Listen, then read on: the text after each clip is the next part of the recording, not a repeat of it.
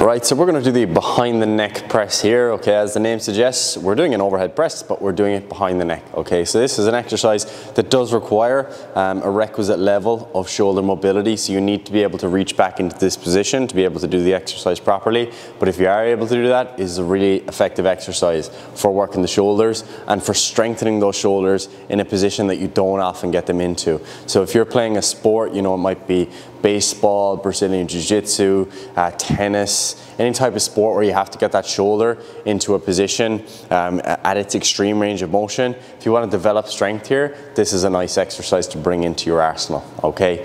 So first things first, we're going to take a wider grip than we normally would for a standard overhead press, and that's going to make this exercise easier to perform. You're going to place the bar on your back in a squat position, and that's the position from which you're going to press, okay?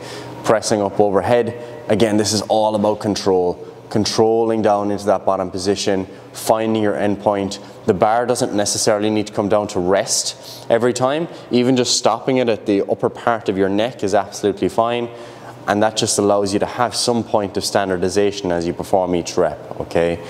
If you find yourself really having to, you know, contort your body to get the bar up, or use momentum, um, this mightn't be the best exercise for you, or you should just start by trying to control it a little bit more. That's really what this is all about, is control, pause, slow change of direction. That's how you'll get the most out of this exercise. And it's also how you'll get most comfortable with those ex more extreme ranges of motion, okay? So that's your behind the neck press. Again, remember you have to put the bar back again.